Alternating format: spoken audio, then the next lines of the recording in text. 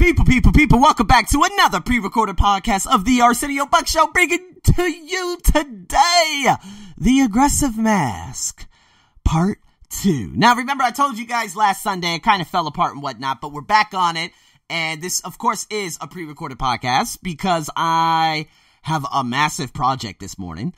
Um, and it's funny, I'm saying this like as it's present day, but it's really not. I'm like actually four or five days behind. But you know what? I just wanted to post this here, man. I hope you guys enjoy this one. And man, we got to get back into this aggressive mask. And I'm going to get into a very ugly story. Um, aggressive mask part two. Here we go. There was a quote, of course, by Lewis Howes in his book. He said, unaddressed anger is the glue that keeps the aggressive mask stuck in place. Unaddressed anger starting very early and lasting in many cases for decades. There's research on this, and it testifies to how much young boys in particular are soaked in anger. For many of them, anger is the only emotion that is accept- acceptable to express. If you want to look at blueprints, of course, like I told you so much about the emotional blueprints, geographical blueprints, a lot of different blueprints out there. Um, there's no way in hell that you are you have those sort of genetics. Remember I told you guys about the story back in 2003, 2004. Now, okay, I'm going to give you a nice little background of all of this. Uh, I've told you guys this probably a little bit vaguely, but in 2003, there was a girl by the name of Adriana Arce. She was Costa Rican, but Costa Rican American. It's funny how that's happening right now. A little bit of foreshadowing again. Um, and I remember I liked her so much. We talked all summer long. She was a little intern at the age of 15 making money. I was pissed. And man, she was a delightful girl. She was so wonderful. She had such a wonderful smile. Oh my god, I still remember her face. I haven't seen her in 11 years. Anyways, I haven't talked to her in even longer. So here we go. Adrienne, I remember I liked her so much. And there was this one guy by the name of Edison. Never knew him. Had a big mole on his face. Wasn't very look good to look at. And I remember during lunchtime, this guy came right up behind her and started hugging her. And I stood there in shock. And she was letting it happen. She was on her phone. He was hugging her. And I ended up going to class. I was so angry. I was infuriated. It was kind of like, oh, well, was that your girlfriend? No, not necessarily. But the thing is, we were kind of seeing each other for so long. And I was just appalled by the entire situation. I went home that day and I was so angry. I was like, how dare you have this man come up from behind and hug you while I'm standing there? What the hell were you thinking? What are you thinking? This and that. And oh my God, so many different things were just running through my mind. I was just so angry. And she's like, oh my God, I'm so sorry. And I think I saw her the next day or something like that. And, you know, I think by that time I was just like over it, but at the same time I still had feelings for her. Then one of her close friends by the name of Maria Ventura who I actually just found on Facebook, apparently was on Facebook. And oh my God, I'll get into that story a little bit later. That was in 2009, but this was way, way young. This is 2003.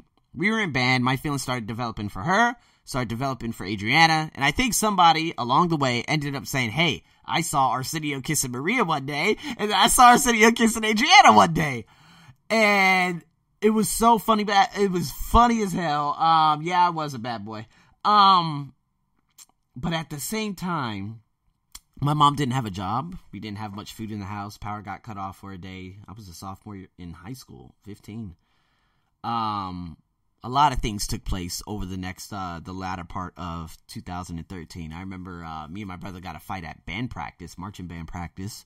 I went home, and of course, my mom takes the side of that that specimen and I ended up getting really angry. I ran. I ran to my friend, childhood friend, uh, Mark Tolentino's house, and I went there. I was crying. His mom looked at me. She said, "Hey, don't worry, you can sleep here."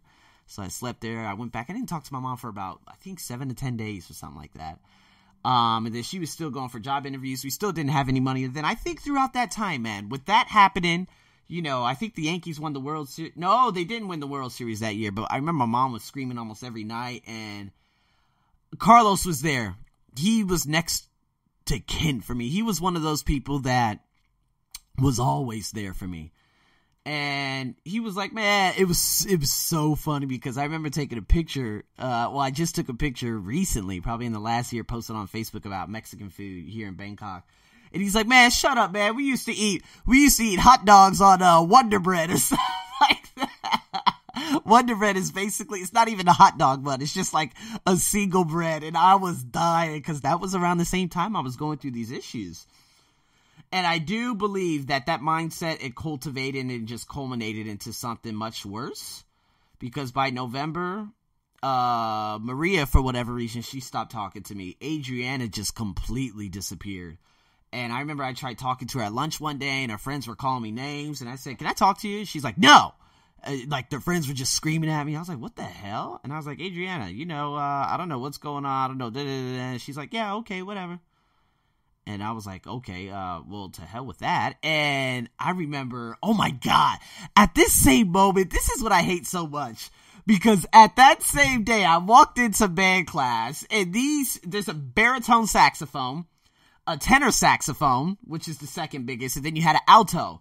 There was a, there was four of them. It was like a, uh, I forgot what it was. It was like some kind of soprano something and they were playing like one of the saddest songs I've ever heard in my life. And of course, every time I hear, well, I haven't heard that song since then, but it was a beautiful, beautiful song. But um, ooh man, it sounded like the song off Titanic when they were playing it on the violin. Uh, when everyone was just rushing and everything. Whatever. Okay, so it, I swear it sounded like that. No, it was very, very close though. Anyways, okay, so what am I trying to get at here? You're like, okay, Arsenio, good story. What's going on? By the time December came around, my mom sold the truck. She got money for it. She ended up getting a job in January. We were so happy. Um, but that entire December, I was lost. I really was. I remember my brother, he was going through a breakup and whatnot. I remember in January, that's when everything started. So it just went from like, it went from a very turbulent August, uh, September. September and October were very fun months until everything fell apart with both Maria and Adriana. And then December came. Uh, I was sad. You know, I just played, you know, Max Payne and different games on the, you know, PlayStation and whatnot. And going into 2004, anger developed because then that's when I started playing, you know, Blitz. If you guys know that game, Blitz 2003. That's an, an American football game. Every time I lost, I would scream and I would cry, literally cry, and hit the floor, slam the controller, I remember North Carolina. I really liked North Carolina basketball at that time. They lost to Duke the first time. Um, Duke, the Duke Blue Devils, uh, two stupid universities. Uh, yeah, they lost to them, and I went upstairs. I was so angry. And I remember my mom, she looked at her friend Al, who I consider to be a father still to this day, and she she was like, "What's wrong with my son?" And honestly, I didn't know what was going on. I wasn't talking to anyone or anything, you know. And the next thing you know, there was a guy named Manny. And this, of course, stems back to the athlete mask. Um, there's a guy named Manny. He's like, Arsenio, you still want to do track? I was like, oh, yeah. He said, come with me. Let's go to Coach Meyer's office. I went in there, shook the man's hand. Coach Meyer from Iowa.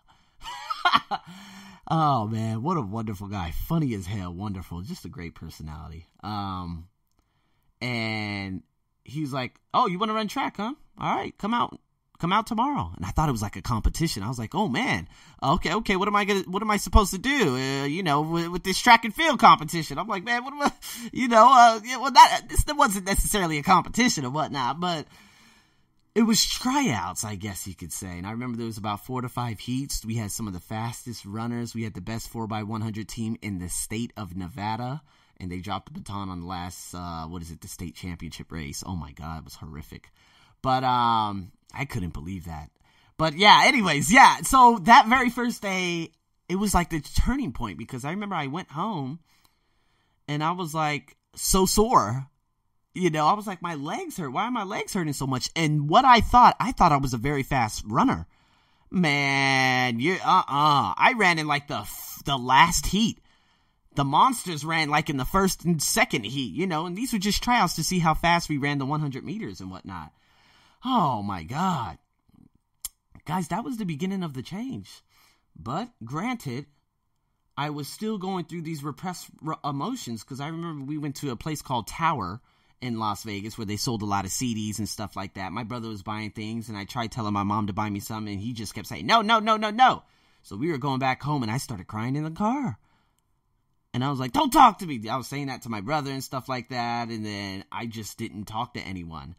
Um, and then, of course, Al came back around and the shoes that I actually wanted, you know, my mom ended up buying them for me and whatnot. Um, and even going into the first track meet in Bullhead City, Arizona, um, I thought I was a remarkably fast runner. I thought I was going to do wonderful on the hurdles. I never actually even ran it in practice only a couple times, but I didn't know how fast the others were going to be. So I told this guy right next to me, he was a big guy with long hair. I was like, good luck. He's like, you too. And we came out the blocks, and I thought I came out the blocks pretty good too. I, I thought I was completely, I was faster than everyone. But then I had no idea that it was three steps in between each hurdle. So here I am taking like six steps in stutter step in between the hurdles, and I came in last. I slammed my hands on the track. I started crying. Oh my god, because I was still going through those emotions, man. Oh, that was so fun.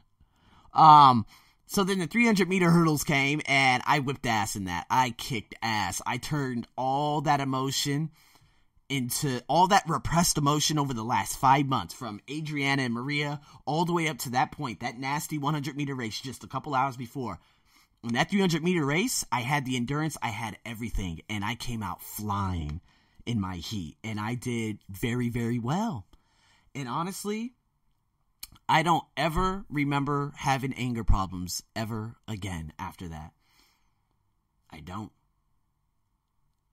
That's so. That's the very, very interesting thing. That's the most interesting part about life. Uh, really, it really is because how was I able to revert something where I had emotional issues? It could have came from girls, then leading up to family problems, and then uh, it, it festering up into sports, and next you know, video games. So many different things, and after that, you know, of course, when I was, you know, the track and field guy, Maria came back and she ended up being terrible to me. And we got into a six day relationship. Next, you know, I saw her hold the hands with another guy. I was like, what the hell's going on? And then she dumped me. And then Carlos, apparently this mother, this mother freaker's a, he's, he's a clairvoyant. So he's like, oh, she's going to tell you this now. Cause he was on the other line. Well, he was right next to me while I was talking to her on speaker.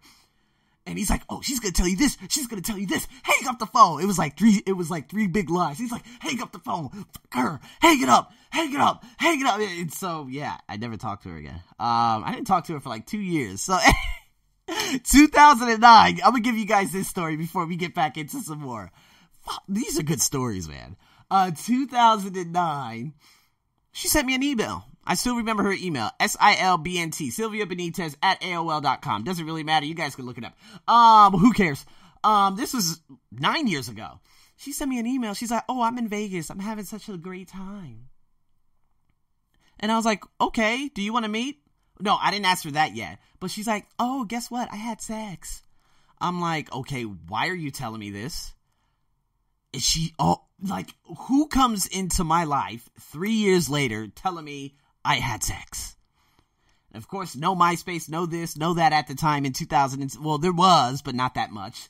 Uh, and I didn't talk to her, but she sent me an email and next you know, I was like, okay, you keep telling me about this party and drinking and doing this and doing that. Can we meet? She's like, oh, well, I'm going to have to fit you into my schedule. I said, and I told Andre, of course, you guys know Andre. I was like, Andre, look at this. Look what she said to me. He was like, oh, hell no. Nah. I said, oh, hell no. I said, he said, oh, hell no. I said, oh, hell no. He said, hell no. I said, yeah, she did. I went right to the keyboard. I said, B word. Who the hell do you think you are? Are you famous? Tell you what, don't ever email me again. and that was the end of Maria. Oh God, those are good times, man. That was actually in 2009. That was one month after I went to Australia.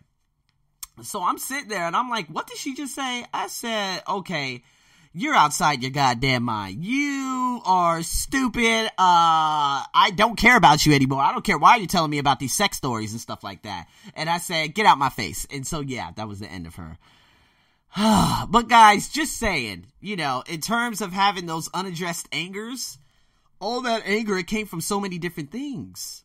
There was a writer in, um, or there is a writer in Lewis Howes' book by the name of Ashly Burch. She said, when an emotion sneaks in for a male character like in video games, kind of like when I play Blitz. By and large, it's anger. And any sort of grief is very, very underplayed and never actually discussed or processed. Kids end up really looking up to, you know, that character or these characters or whoever it may be. And what they end up idolizing is someone who cannot express themselves emotionally cannot be honest or open with anyone around them. It could be in the video game, but they end up becoming that person in the video game. It's kind of like in a movie. When I watch movies now, it's not like when I used to watch movies 15 years ago. When I watch movies, I'm in the movies. I feel the atmosphere. I feel everything that's going on. I don't know how I do it, but I do. Because I'm just so into it. Those two hours that I'm in a movie, Nothing around me exists unless it's a shitty movie. Excuse my language. Yeah, but yeah, just saying. Um, I've had, you know, one of I've had a crazy childhood, and some of you probably do know this. No, actually, I don't think any of you know this story. So I'm just gonna get into this, and then uh, we're gonna end this bad boy because this is a crazy long podcast. So, okay, so in 1997 I remember I came home and my mom, she was gone and the police were over. And I'm like, what happened? And my dad was like, your mom's going to jail. I said, what? And she had domestic violence. Apparently she was trying to stab him. I know you guys are like, what? Why, what are you laughing for? I said, I don't know.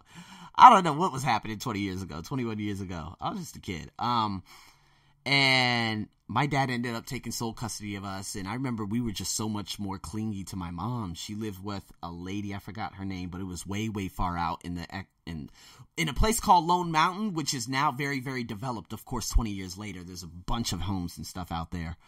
Um but before 20 years ago it was just all desert and just one house in the middle of nowhere. And so my mom lived there. She would only get the rights to see us every now and then. She would have to drop us off the corner, drop us off at the corner um, of the street. She couldn't come. She had a restraining order, so many different things. And so my dad had custody of us. So the first lady he ended up dating was a lady, an Italian lady, right out of Brooklyn by the name of Lisa. Lisa was a wonderful soul. Lisa tried everything to keep food in our stomach. She bought us food. She was fantastic and I think you guys probably I talked about this just a little bit. And next thing you know, there was one time we were living in budget suites. Literally, it was a studio apartment. There were six of us living there. Four of us slept right there in the living room. Okay, TV on one side, you could scoot the TV on over to the other side. Blah blah blah blah blah. And yeah, so it was a very small bathroom, very small place. It was it was just a, literally a one a half ass bedroom. I remember one morning I woke up and there was a white lady standing in the home in our uh, apartment. I was like, "Who is that?" My dad was like, "That's Kim." He said, "We're gonna be moving in with her." I was like, "Hello, Kim." She's like, "Hi." Redhead, straight from Missouri, and so Kim, um, Kim was a very how can I say it? Kim was a very interesting uh, person because that bond I had with Lisa, I, we didn't have with Kim. Lisa was a very remarkable cook and Kim was probably 20% of that. And so I recall us going all the way to the other side of town. And what was the first place? Where was the first place we started living? I can't remember. But we were living at Budget Suites off Tropicana next to New York, New York. You guys can look that up. Excalibur, the Luxor, you guys probably know those buildings. Not too far from there, man. We were living there in Budget Suites. Hated it. Uh, went to a school named Helen Jydstrup, too man, I wish I could get in contact with any of those people from there. I still remember my fourth grade teacher, Mr. Recruit. Man, next thing you know, fifth grade, man, you know what? I didn't go to school for a while. I almost got held back. I almost got held back because my my father, he didn't have the birth certificate, he didn't have social security, he didn't have anything up for you know so that we could register for school. So we moved in with Kim more on the westward side of town. And Kim, she had a son and a daughter. Son was Emily, redhead freckles son, Brandon, tall, very tall for his age, four years younger than me, and he was my height. And he, blonde hair, blue eyes, of course. They were all from Missouri.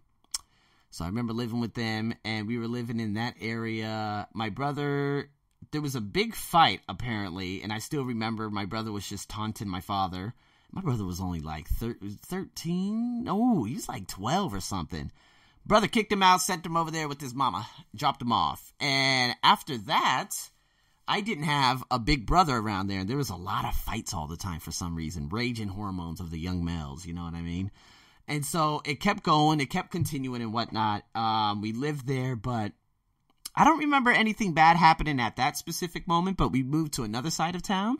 And I went from going from Helen Durfelt. I still remember that school's name. Helen Durfelt. My my grades were terrible because I couldn't focus. Honestly, I didn't even have breakfast. My father barely even fed us. You know, it's crazy that I'm I'm like alive right now, man. oh, we go to the other side of town.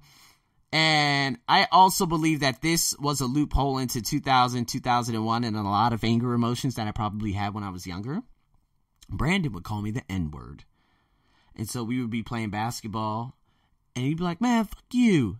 And he would say the N word. And the N word, if you guys don't know that, I ain't telling you nothing about it, but it's a very derogatory term towards African Americans to basically degrade them and it's basically what Anglo's use for the last and continue to use for like the last 500 to 1,000 years.